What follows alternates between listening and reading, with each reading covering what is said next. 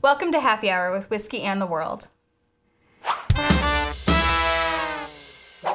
Hi, welcome to Happy Hour. I'm Joe, and this is Kat, and we're the hosts of the podcast Whiskey and the World. And today we have the pleasure of bringing you one of my top five favorite whiskeys, Nikka Coffey Grain Whiskey.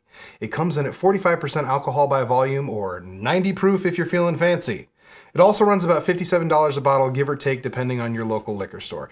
Now, I think that this whiskey also has one of the cooler stories in terms of whiskey. Why don't you tell us about it? Well, it's our first Japanese whiskey, so we're going to be talking about Mashitake Takasuru. I hope I said that right.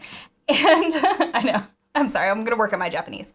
Um, but it's a beautiful story. So he comes from a family who used to make sake, and then as a boy, he took a trip to Scotland, got really excited by what he saw there in Scotland, and figured out that he needed to bring it back to Japan. And it's kind of cool, actually. He also met his wife on this trip.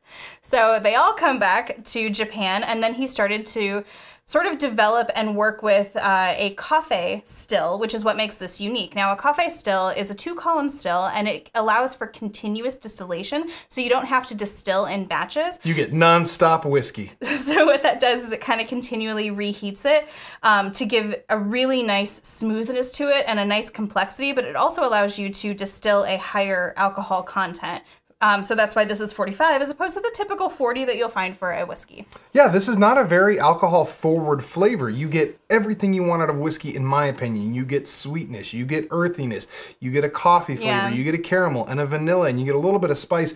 It literally brings everything to the table you want out of a whiskey. It's very mellow. It's almost kind of like like a toffee popcorn campfirey kind of flavor without it being. Um, too kind of sticky. Oh, absolutely. No, yeah, yeah like, it's not cloyingly sweet. Yeah, yeah. So I I really like this. I mean, and again, for this is kind of our first Japanese whiskey that we've done on the show, so they Pretty solid hit start. it out of the park. Yeah. So for anyway, a score, what are you going to give it? Well, as you folks know, that's right. we should tell you how we score things.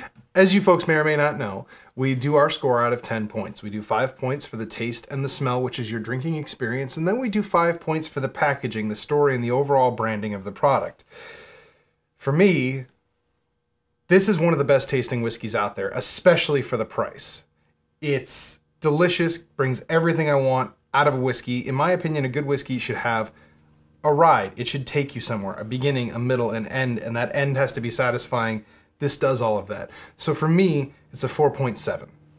That's high. That's a good one. I'm, I'm going to go with a four. I really enjoy it. Uh, you know, I'm not typically a Japanese whiskey fan, but had you not told me that it was, I feel like I may not have been able to pick that out. You know, so it's just for me, without kind of judging anything else about it, just the taste.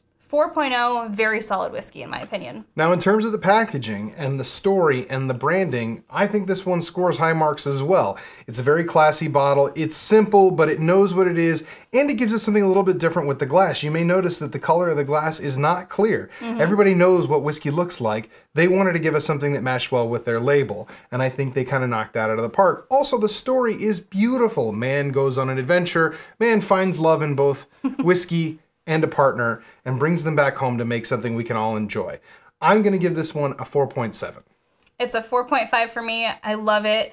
I don't think it's necessarily missing anything, but the only thing that would sort of keep it from being perfect is that I hope somebody notices this in a bar and, and would like to try it. But with that being said, it's so classy, it's beautiful. This would be a lovely gift to give or receive. And a killer addition to your home bar. Now, with Kat's score of an 8.5 and my score of a 9.4, that gives the show score an 8.95. With that being said, let's, let's have, have, a drink. drink. Oh, you're excited about this one. Are you? Yeah. so today I'm going to teach you something called a twice up, which is basically equal parts whiskey and water. We're going to be using the Nikka Coffey grain whiskey, and I have some bottled water here. So this is really simple, guys. You just take two ounces of the Nikka Coffey, or your favorite whiskey and pour that into one glass. And then, using a separate jigger, we're gonna take two ounces of our water and pour it into a second glass. Now, you could use carbonated water for this, I've seen it done that way, but I recommend still, just my personal preference. All right, so that's pretty much it, guys. It is equal parts whiskey and water. So, if you try to order this at a bar, someone might look at you funny. So, I recommend ordering whiskey, neat, and a water back. That way, you can add as much or as little as you want. So, here's the thing, guys. If you want to add water to your whiskey, go for it. But I recommend maybe adding a little bit at a time. But don't add ice.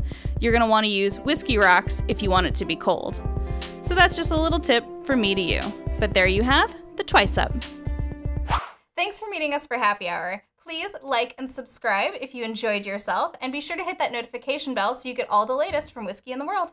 And if you're finding yourself with lots of money and no entertainment, you can head on over to patreon.com slash whiskey and the world and see all the extra goodies we have for you. Also, you can catch a new happy hour every Wednesday on YouTube and on iTunes and SoundCloud, a new episode of the Whiskey and the World podcast with a new whiskey and musical guest every single week. And remember, drinking is cool. But staying alive to drink the next time is cooler. So be safe. And please drink responsibly.